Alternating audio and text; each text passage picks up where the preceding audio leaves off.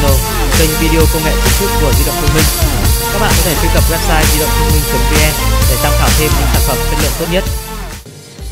À, chào các bạn, trên tay mình chính là chiếc LG Optimus G phiên bản màu đỏ đun khá là hiếm trên thị trường. Đây là một thiết bị cao cấp nhất của LG được ra mắt đầu năm 2013. Tuy nhiên thì hiện tại mức giá của nó chỉ là chưa đến 4 triệu đồng, 3 triệu 990 nghìn đang được bán ở diện thông minh. Thì đây là cơ hội rất là lớn để các bạn có thể sử dụng sản phẩm này. Ờ, LG Optimus G thì nó có một thiết kế phải nói khá là đẹp và sang trọng với hai mặt kính cường lực. Sản phẩm này thì nó cũng sở hữu một cấu hình khá là tốt với RAM 2GB, con chip S4 Pro. Uh, tuy nhiên hôm nay thì mình sẽ không nói nhiều về cái phần uh, đánh giá chi tiết về sản phẩm này nữa mình sẽ giới thiệu với các bạn nền tảng Android 5.0.2 uh, trên nền CM12 Cyanogen Mode để xem uh, cái nền tảng hệ điều hành mới này nó sẽ khác gì với nền tảng Android 4.4 KitKat mà các bạn vẫn đang sử dụng uh, khi mà LG hỗ trợ đến thời điểm hiện tại đầu tiên thì các bạn sẽ thấy là cái giao diện màn hình khóa đầu tiên rất là khác biệt. Thì chúng ta có thể xem tất cả những cái thông báo hiển thị ở đây. Các bạn có thể ấn trực tiếp vào để xem hoặc chúng ta có thể xóa đi bằng cách trượt sang trái hoặc trượt sang phải. Đó thì để xem tất cả những cái thông báo các bạn chỉ cần trượt xuống thì tất cả những cái uh, thông báo nó sẽ hiển thị hết ra cho các bạn xem. Ngoài ra thì cũng ở máy khóa này thì các bạn cũng có thể kéo thanh trạng thái xuống. Chúng ta điều chỉnh nhanh Ờ, tăng độ sáng cũng như là bật tắt các kết nối. Và ở phần phía dưới này, các bạn có thể thấy là chúng ta sẽ truy cập nhanh vào các ứng dụng như là gọi điện, máy ảnh cũng như là mở khóa màn hình. Và các bạn hoàn toàn có thể điều chỉnh ba cái phím này ờ, tùy theo cái ờ, ứng dụng mà một bạn muốn đặt. Không nhất thiết là phải ứng dụng gọi điện hoặc là máy ảnh mặc định theo máy. Cái phần thay đổi tiếp theo chính là về thanh trạng thái à, nếu các bạn dùng một ngón tay chúng ta kéo từ phía bên trái xuống thì sẽ hiển thị tất cả các thông báo của bạn. Và các bạn cũng có thể kéo ở phía bên phải thì sẽ hiển thị cả cái phần chúng ta bật tắt các kết nối. Ở đây thì các bạn thấy trên thanh trạng thái này nó sẽ hiển thị cho chúng ta khá là đầy đủ về ngày giờ thời tiết cũng như là các phần cài đặt hay là cái chế độ phân quyền người dùng giúp các bạn bảo mật thông tin hơn. À, trên cái nền tảng Android 5.0.2 của LG G thì uh, các bạn sẽ có thêm tùy chỉnh ở thanh trạng thái chúng ta chỉ cần kéo lướt từ trái qua phải để tăng độ sáng hoặc là giảm kéo từ phải sang trái để giảm độ sáng màn hình. À, thì mình nghĩ đây là một cái tính năng tùy biến rất là tiện lợi mà chúng ta không cần phải vào kéo một lần chúng ta điều chỉnh sáng hoặc là vào cài đặt uh, sâu trong setting nữa. Tiếp theo thì ờ, với cái cũng ở trên thanh trạng thái này các bạn muốn tắt nhanh màn hình thì chúng ta cũng không cần phải sử dụng phím nguồn mà các bạn chỉ cần chạm đúp hai lần vào thanh trạng thái là chúng ta cũng đã có thể tắt màn hình rồi. Đây là tính năng rất là tiện lợi mà mình đánh giá khá cao.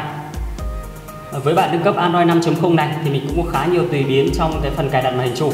Ờ, các bạn sẽ giữ một lúc ở màn hình này và nó sẽ hiện ra cho chúng ta những tùy chỉnh như là thay đổi hình nền ờ, thêm các widget cũng như là phần cài đặt.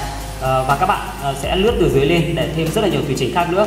Ở đây thì mình có thấy một số chế độ khá là hay như các bạn có thể thay đổi hiệu ứng chuyển trang khi chúng ta lướt trên màn hình. Có rất nhiều hiệu ứng ở đây cho các bạn chọn. Đó, các bạn cũng có thể thay đổi số biểu tượng số icon hiển thị trên màn hình chính. Đó, chúng ta có thể chọn cho phù hợp với màn hình của mình ngoài ra thì ờ, với cái phần cài đặt ở dưới thì các bạn thấy là nó cũng cho chúng ta hiển thị cái uh, kích cỡ của icon. Các bạn có thể cho to hoặc là cho bé. Đó nếu chúng ta cho to thì các bạn có thể thấy ở đây cái phần icon nó hiển thị rất là lớn. Tuy nhiên nếu mà chúng ta cho bé thì cái phần icon nó hiển thị bé hơn và nó sẽ uh, có nhiều cái icon trên màn hình hơn. Đây các bạn có thấy sau khi mình chuyển xong thì trên màn hình chính này xuất hiện rất là nhiều những biểu tượng của chúng ta cũng trên nền tảng Android 5.0 này thì khi các bạn vào phần cài đặt ờ, màn hình chúng ta có thể ẩn được cái thanh trạng thái đi để mở rộng cái không gian làm việc của chúng ta trên màn hình. Cụ thể khi ở đây mình vào phần expand desktop và các bạn uh, kích hoạt nó lên thì ngay lập tức chúng ta sẽ thấy là thanh trạng thái của bạn sẽ biến mất và màn hình của chúng ta nó sẽ có nhiều không gian trải nghiệm hơn. Khi chúng ta kéo từ trên xuống thì thanh trạng thái vẫn hiển thị như bình thường. Ngoài ra chúng ta biết rằng sản phẩm LG G nó sử dụng cái màn hình LCD với tấm nền IPS vì vậy có thể một số sản phẩm uh, khác nhau thì cái tấm nền cái màu sắc của màn hình sẽ khác nhau. Tuy nhiên thì với phiên bản Android 5.0 thì mình sẽ có một tùy chỉnh tức là giúp uh, các bạn có thể điều khiển uh, màn hình của chúng ta ngả sang một cái màu nào đó. Ví dụ như bạn nào thích đọc báo trời tối thì chúng ta có thể làm màn hình vàng đi hoặc là chuyển sang một cái màu nào đó để cho dịu với mắt người dùng chẳng hạn. Đó ở đây thì các bạn có thể cân chỉnh cái cân bằng trắng này và mình thấy rất là hay. À, chúng ta biết rằng thì trên Optimus G, ba phím điều hướng, phím back, phím home và phím uh, menu đã được đưa ra khỏi màn chính. Tuy nhiên thì một số trường hợp mà chẳng may máy của bạn bị đơ hoặc liệt ba phím này chẳng hạn thì uh, với nền tảng Android 5.0 Optimus G vẫn được hỗ trợ một tính năng mình thấy khá là hay. Đó là việc hãng đã đưa ba cái phím điều hướng này vào bên trong màn hình bằng cách chúng ta kích hoạt vào phần button và các bạn sẽ bật cái chế độ này lên thì ngay lập tức thì ba phím điều hướng ở bên ngoài các bạn sẽ thấy là không có tác dụng nữa. Và nó sẽ đã được đưa vào bên trong màn hình với cái ba phím truyền thống của Android 5.0 phím back, phím home và phím chạy đa nhiệm. Thì các bạn thấy là mình sẽ sử dụng như bình thường. Đó tuy nó chiếm một cái phần diện tích ờ, cũng khá là khó chịu. Xong thì mình nghĩ cái vấn đề này sẽ khắc phục được cái tình trạng liệt cảm ứng của các bạn. Đó, các bạn có thể về home hoặc là chúng ta vào phần chạy đa nhiệm. Nó hoạt động rất là nhạy và đây là điểm đánh giá khá là cao trên cái tùy chỉnh này của chiếc LG Optimus G và yếu tố tiếp theo mà mình sẽ nhắc đến đó chính là việc giao diện chạy đa nhiệm. Thì đây là một cái giao diện rất là quen thuộc trên nền tảng Android 5.0 mà các bạn cũng đã từng biết khi mình giới thiệu qua các video lần trước rồi. À, nó được ờ, xếp theo cái dạng ờ, các thẻ xếp chồng lên nhau và khá là mượt mà. Các bạn có thể thoát từng ứng dụng bằng cách lướt sang trái lướt sang phải cũng như có thể thoát hết toàn bộ ở đây.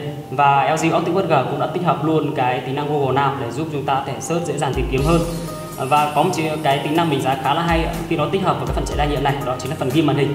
Các bạn để ý sẽ thấy một cái hình cái ghim ở đây. Khi bạn ấn vào thì ờ, ờ, khi người khác sử dụng mượn máy của các bạn thì họ chỉ được dùng một cái ứng dụng duy nhất đó mà thôi, mà họ sẽ không có quyền truy cập vào các ứng dụng khác. Thì đây là một tính năng bảo mật rất là cao trên nền tảng Android 5.0 À, và một tính năng nữa khá là hay trên chiếc LG Optimus G với phiên bản 5.0 này là khi người khác uh, gọi đến cho các bạn thì thay vì nó sẽ ra ứng dụng gọi điện toàn màn hình thì trên sản phẩm này nó chỉ hiển thị ra duy nhất một pop-up ở phía bên trên. Và trong khi đó thì các bạn vẫn có thể làm việc với các thao tác như lướt chạm trên màn hình hay là nhắn tin vân vân. Và bây giờ mình sẽ thử tính năng này cho các bạn cùng xem.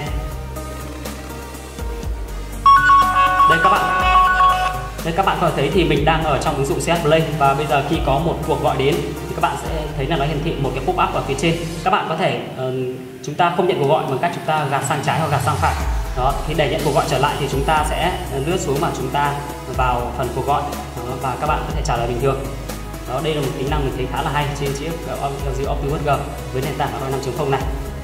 Ờ, và như vậy thì mình đã giới thiệu những cái tính năng cũng như những điểm cải tiến mới ờ, trên nền tảng Android 5.0.2 với chiếc LG Optimus G. Và các bạn có thể trải nghiệm ờ, cái nền tảng Android này. Mình thấy sau một thời gian sử dụng thì thấy rất ổn định và mượt mà.